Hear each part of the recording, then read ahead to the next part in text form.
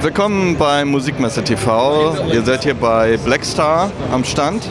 Äh, Blackstar hat ja vor zwei Jahren circa die ID Core Serie ähm, auf den Markt gebracht. Das waren kleine Übungsamps in 10, 20 und 40 Watt mit Super Wide Stereo Wiedergabe.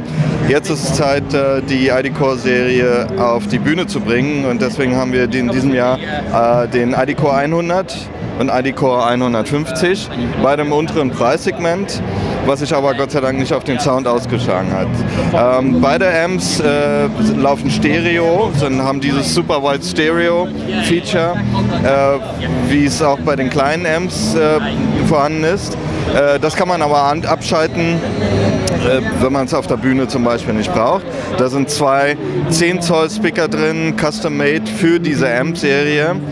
Ähm, außerdem haben wir die komplette äh, Effektpalette wie bei den kleinen ID-Core und zusätzlich noch einen Octaver äh, und ein Looper, mit dem man eben halt äh, ja, zu den Loop, Loops kreieren kann und dann zu den Loops dazu performen kann.